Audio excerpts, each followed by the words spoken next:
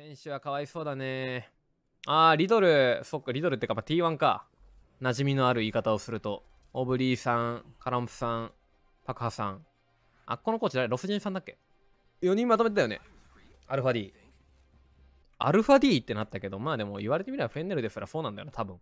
んてか、フローラもそうか。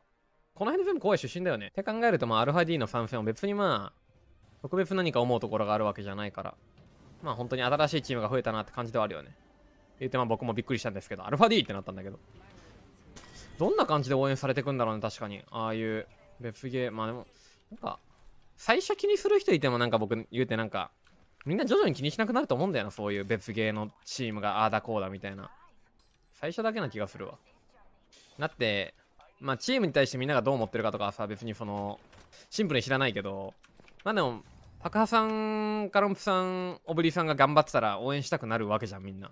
僕は多分そうなるから。からそこに母体がどうのこうのあんまりなんだかんだ気にしなくなりそう。そう、僕ね、T1、元 T1 もう、競技しないんかなって正直思ってた。ね、なんかチームちゃんと決まってさ、ちゃんとした待遇で、今後もやっていけるってだけです。まあ、だいぶ素晴らしいよね。T1 が世界大会で見れる日は来ますか。なんかああいう強えって言われてる人たちが世界大会出て暴れてる様子見てよ。そして言いてよ。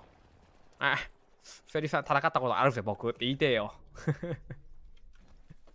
ボコられたことあるぜ。